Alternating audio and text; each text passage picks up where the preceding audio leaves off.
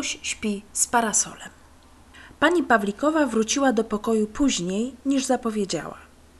Gdy weszła do pokoju, światło jeszcze się paliło, ale Kubuś chrapał już smacznie na Amerykance. Ogarnęła ją czułość. Patrzyła na rumiane policzki syna, na jego zwichrzone jasne włosy, na ucho, które jak misterna muszelka wysuwało się spod kołdry i, o zgrozo, jak muszelka miało pełno piasku w zagłębieniach. Uśmiechała się, przebaczając mu w myśli to drobne uchybienie w higienie. Był przecież dzielny. Sam sobie przyrządził kolację, sam posłał Amerykankę, a teraz po trudach dnia spoczywał jak cherubin. Pochyliła się nad głową chłopca. Chciała go pocałować w umorysany policzek, ale naraz cofnęła się gwałtownie. Cóż to? Spod kołdry wystawała srebrna rączka parasola. Pani Pawlikowa delikatnie odchyliła kołdrę i nagle parsknęła śmiechem. Jej ukochany cherubinek obiema rękoma obejmował stary, zakurzony parasol i mocno przyciskał go do siebie. Zdarzało się, że Kubuś spał już z żabą, ze znalezionym na podwórzu kotem, ale z parasolem tego jeszcze nie było. Troskliwa matka wyciągnęła delikatnie parasol z objęć Kubusia, przyjrzała mu się uważnie. Skąd on wytrzasnął taki stary grat? Dlaczego go tak czule obejmował? Co on z nim myśli zrobić? dziwiła się, oglądając parasol ze wszystkich stron. Potem przypomniała sobie, że Kubuś wspominał jej kiedyś o drutach ze starych parasoli, z których podobno są znakomite łuki. Pogładziła chłopca po głowie, ucałowała go w policzek, a parasol, niby strażnika, postawiła przy Amerykance. Rano ledwie Kubuś otworzył oczy, spostrzegł, że parasola nie ma pod kołdrą. Gdzie mój parasol? wrzasnął przerażony. Na jego okrzyk w drzwiach łazienki ukazała się matka. Była w jedwabnym szlafroku, a głowę miała owiniętą ręcznikiem. Chłopcu, który przez tę noc wiele przyśnił, wydało się, że to Maharani z indyjskich baśni wyszła na jego spotkanie. Matka uśmiechnęła się zagadkowo. Kubuś, na miłość boską, kto śpi w łóżku z takim brudnym parasolem? Gdzie parasol? wybąkał nie swoim głosem. Jest, jest. Nic się z nim nie stało przecież. Kubuś wodził po pokoju zaspanymi oczami. Wreszcie za oparciem Amerykanki dojrzał srebrną rączkę. Chwycił ją kurczowo, uniósł parasol i odetchnął z niewysłowioną ulgą. Co z tobą jest, Kubusiu? zapytała zaniepokojona matka. Skąd ty masz ten przedpotopowy parasol? Patrzył na nią nieufnie. Zapytywał w myśli, czy warto powiedzieć prawdę. Chyba nie. Matka nie pojmie tej tajemniczej historii parasola. Jeszcze go wyśmieje, a co gorsza, może mu kazać zwrócić natychmiast parasol albo zawiadomi telefonicznie policję. Powiedział więc wymijająco: To taki stary parasol. Znalazł go leniwiec. No dobrze, ale dlaczego z nim spałeś? Wzruszył ramionami. Czy nie można? Nie rozumiem ciebie, Kubusiu. Jak to można spać z parasolem? Stajesz się coraz bardziej dziwny. Przyznaj się, może znów bawisz się w detektywa? Bawisz się w detektywa, pomyślał ze złością. To dopiero. Jestem na tropie najbardziej tajemniczej afery, a mamusia mówi: Bawisz się w detektywa. Naburmuszył się, posłał jej chłodne spojrzenie. Ale skąd? powiedział urażony. A coś robił wczoraj wieczorem? Byłem u hipsi. A ten parasol? Chłopiec zmarszczył brwi. Był bardzo niezadowolony z tej indagacji. Przecież mówiłem, że parasol znalazł leniwiec. Gdzie? Gdzie można znaleźć parasol? Chłopiec namyślał się dłuższą chwilę. Był już wściekły. Trzeba dać taką odpowiedź, żeby matka wreszcie zostawiła go w spokoju. W tramwaju.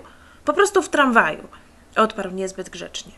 Jeżeli go znalazł w tramwaju, to trzeba go odnieść do biura rzeczy znalezionych. I w ogóle dziwię się, że leniwiec zabrał parasol z tramwaju. Chłopcu zrobiło się już gorąco z przejęcia. Nie zna mamusia leniwca. On się nad tym nie zastanawiał. To ty powinieneś mu to powiedzieć. Kiedy mnie się ten parasol bardzo podobał. Ma srebrną rączkę i w ogóle wdechowy parasol.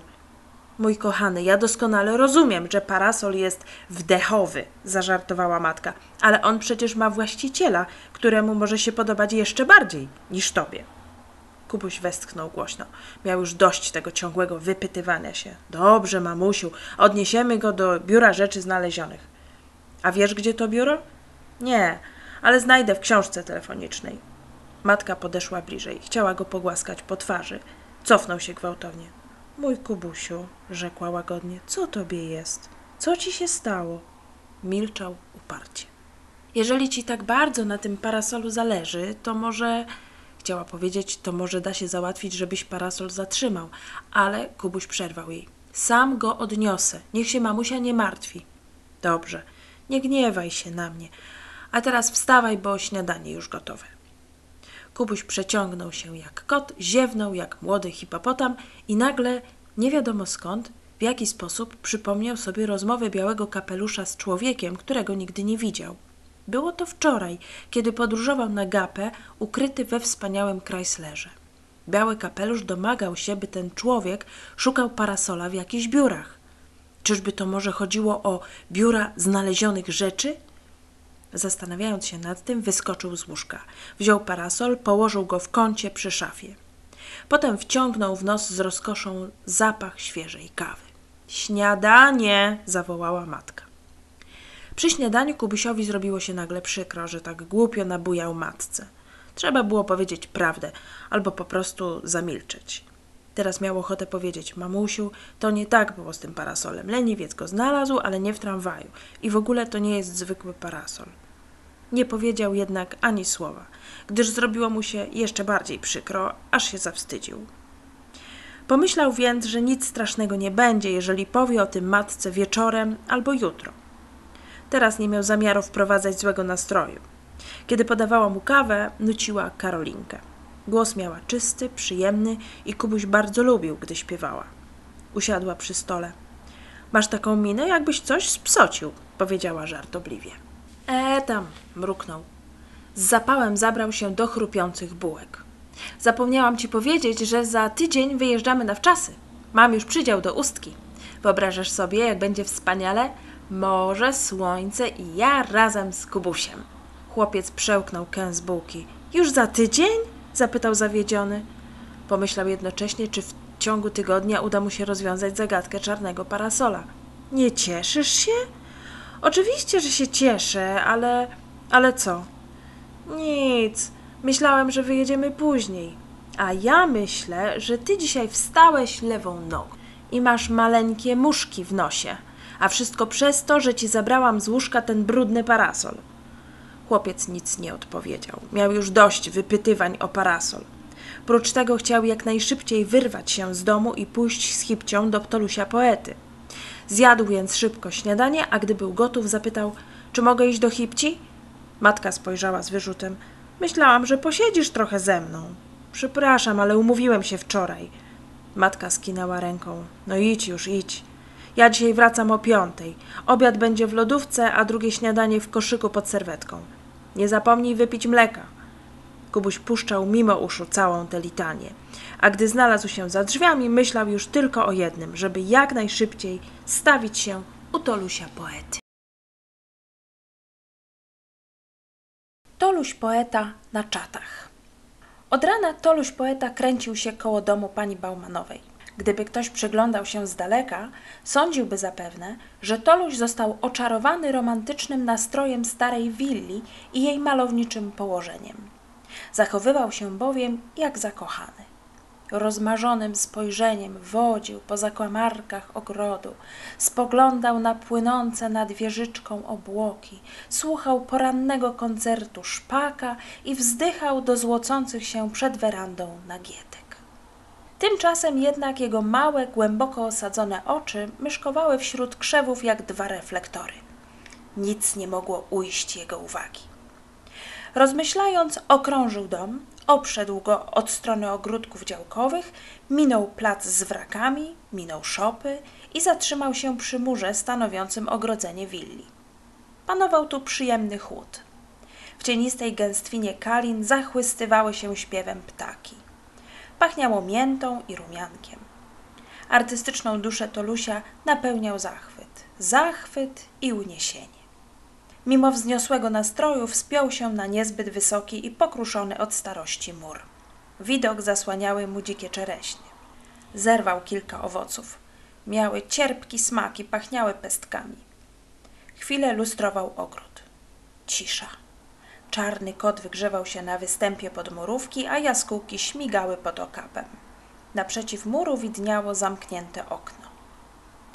Toluś usiadł spokojnie na murze, opuścił nogi, poczochrał palcami rudą brudkę i upojony ciszą wyjął z kieszeni marynarki nowy tomik wierszy. Był bowiem przekonany, że w tej sytuacji, skoro zginął najdziwniejszy parasol świata, należy zachować się z godnością i tylko ufna cierpliwość może dać jakieś rezultaty. Nie czekał długo. Zanim przeczytał pierwszy wiersz, usłyszał za sobą suchy trzask gałęzi. Obejrzał się flegmatycznie.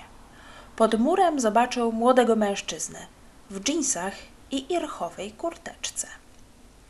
Ten sam, o którym wspominała Hipcia, pomyślał i zachował taki spokój, taką równowagę, jakby pod murem spostrzegł psa lub kota. Dzień dobry, przywitał go młodzieniec. Szanowanie, mruknął niechętnie. Chciałem z panem pomówić. Nie ma nic łatwiejszego. Widziałem, jak wysiadał pan wczoraj z samochodu Powalskiego. Toluś poeta dopiero teraz przyjrzał mu się uważniej. Ho, ho, pomyślał. Do czego on zmierza? A potem odparł głośno, lecz niezwykle spokojnie. Tak, jakby się zgadzało. Młodzieniec w wierchowej kurtce uśmiechnął się zachęcająco. Z kieszeni wyjął paczkę rarytasów, podał Tolusiowi. Ja pana znam, powiedział, nie spuszczając z Tolusia badawczego spojrzenia. Pan zajmuje się pieskami. Toluś wziął papierosa. Wsunął go wolno między wargi. Zgadza się, robię w kynologii. Młodzieniec uśmiechnął się cwaniacko. Ech, Toluś, nie poznajesz mnie. Jestem Fredek. Jako mały szczeniak dostarczałem ci rasowych psów na wykup. Coś sobie przypominam, zamyślił się Toluś. Mieszkałeś blisko baru pod Białą Różą. Potem cię przyskrzynili. Pięć lat odsiedziałem. To mało, mruknął Toluś. Ja bym ci dał więcej. Szczeniak byłem. I pewno szczeniakiem zostałeś. Młodzieniec uśmiechnął się cierpko. Spokojna głowa. Zmądrzałem. Zbliżył się o krok. Uważaj na tego faceta z Ameryki. On może cię wykantować. Czego on od ciebie chce? Toloś wzruszył obojętnie ramionami. Spodobał mu się jeden z moich psów. Fredek zaśmiał się kpiąco. Mnie chcesz czarować? Toluś wyjął wielką mosiężną zapalniczkę. Podsunął ogień Fredkowi. A czego ty szukasz? Kręcisz się tutaj, jakbyś coś węszył. Czuję dobry interes. Zaciągnął się głęboko papierosem i wypuścił długą smugę dymu. Ja wiem, czego on od ciebie chce. Szuka czarnego parasola. Mnie też prosił, żebym mu pomógł. To dlaczego go śledzisz? Fredek zaśmiał się.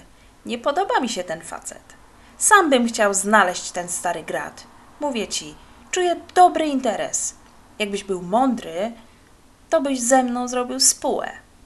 Toluś pogładził brudkę. Uśmiechnął się jakby do siebie i pomyślał, co to jest? Wszyscy chcą ze mną spółki? Potem rzekł wykrętnie, parasole to nie moja specjalność. Ja z zasady zajmuję się psami.